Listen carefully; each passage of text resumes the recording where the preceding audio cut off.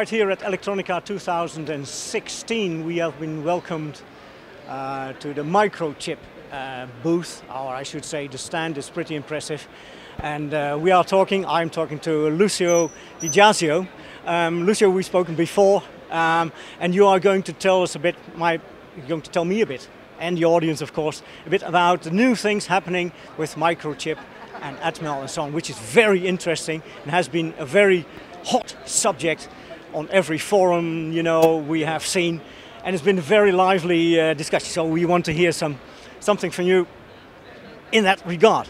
Um, it, it, it, seems to me, uh, Lucio, that you know, uh, microchip has always been uh, platform oriented, uh, has built a platform, strong support, if you can call that, um, as opposed to concentrating on cores, which many other companies uh, do. Uh, with the introduction, you know, of the Atmel uh, products, uh, does that mean that uh, microchip is, is, is, becoming core agnostic? Yeah, well, we, we are core agnostic more than ever. Um, so the addition of all the products and portfolio from from a, from Atmel is is uh, just expanding on the idea. We we always had um, you know continuous investment in 8-bit, 16-bit, 32-bit, and we tried, as you said correctly, uh, we tried to create a platform so where the user can actually choose the right engine for the application, yep. Right? And so now more than ever, we have more options available. So now you can choose if you want ARM cores, many of them. Mm-hmm. You can choose AVR cores if you want to continue developing 8-bit. And there's just the more the merrier, the better yeah. for the customers. So show a few. Uh, yes. Lucio. Uh, yeah. So for example, uh, here in this booth, uh, in this station here, uh-huh. we have 10 stations. Uh, at this one, we are actually showing 8-bit uh, products, and side by side, we are promoting AVR core-based uh, devices and PIC core-based devices. Is 8-bit still going strong, Lucio? Oh, very much, very much so. Uh, you know, the, the everybody has been saying for 20 years that 8-bit was going away, and yet, uh, you know, sales are increasing year after year, and we, we, we have consistency of purpose there. I have to say, as microchip, we, we continue to innovate, to put investments in 8-bit. So, so for, for many, many applications, very low cost, very uh, cost sensitive, I should say, applications, and um, even in IoT today, you know, uh, connected things.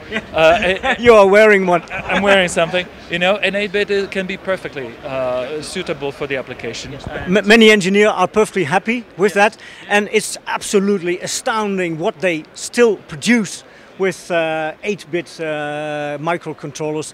The power seems to be uh, and endless, and they even compete. They make a bit fun of it to compete with like 32-bit products. Absolutely, absolutely. They are easy to use. That's the best thing I can say. Really, they are robust.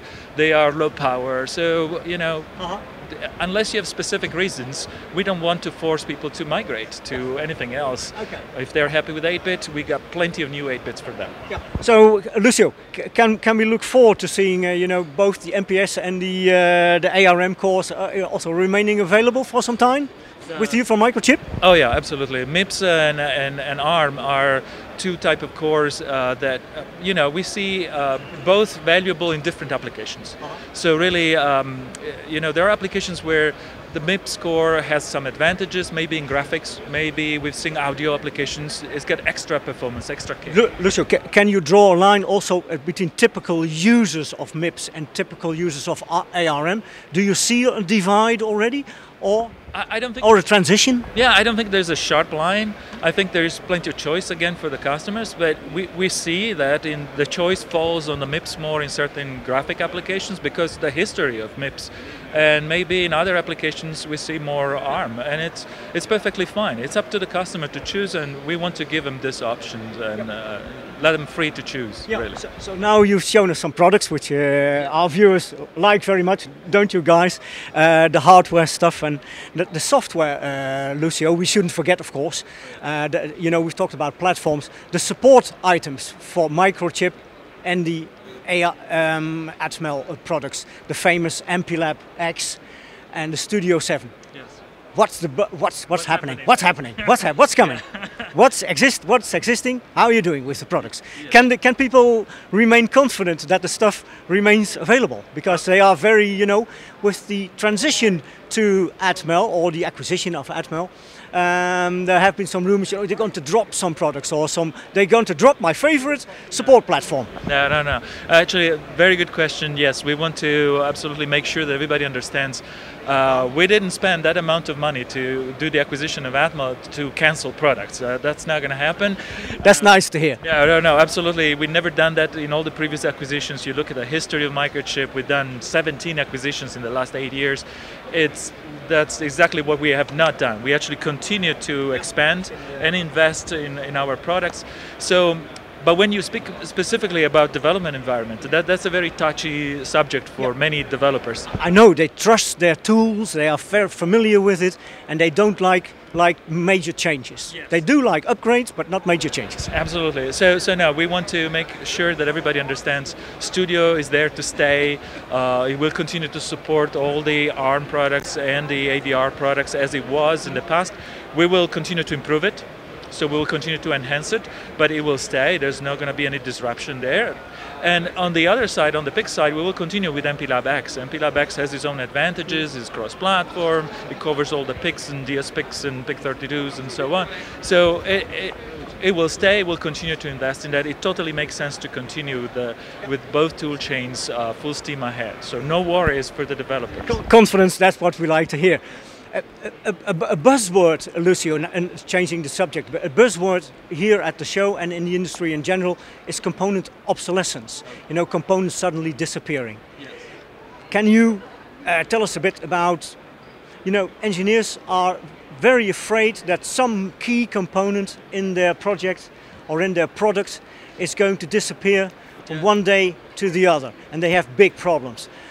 Um, in terms of the Atmel and microchip ICs, the hardware, what, how's your, what's your viewpoint on, on obsolescence? Again, very good question. Uh, so the, the um, you know, we, I can tell you a story. We actually ran a survey among our customers, and we figured out that um, uh, on average they were spending 30% of their R&D budget just in redesigning existing product, redoing it because some part or another in the product, in the bill of material, had been obsoleted, and so they were literally wasting 30% of their R&D. Is a lot. That's a lot of money, absolutely. And the accountants don't like it. No, uh, I mean, uh, imagine if you can actually uh, free up that uh, R&D time and, and budget and actually make it available for the customer to innovate, mm-hmm. right? To actually create new product to increase revenue for the company. That, so that's what we do in Microchip. We, we call it actually customer-driven obsolescence. So as long as we see the customers are buying, are ordering our products, we keep manufacturing them. There is no obsolescence, and we have a history. You do not dictate the obsolescence. You, you watch customer demand and adjust your supply, so to speak, of the products. I had I had this week I had a request for quotes for products that were actually designed 20 years ago. 16F84. Yes, of course. Uh, you said it. An F877, and I had a C7 Explorer 16. Yeah, these are all products. Yes, these are all products that were designed 16, 17, 20 years ago. I'm happy to quote them. I'm happy to sell them. I'm happy to tell the customers we continue to manufacture them because it, it's up to them to drive the innovation. We want them to spend their time and focus on designing new stuff and we don't want to force them to spend time just redesigning all projects just because we obsolete parts. So that's our policy. We've done this for 20 years. We'll continue to do it with all the PICs and all the AVRs and ARM products that we have inherited now from Atmel. Lucio, thank you very much for the interview and have a great show.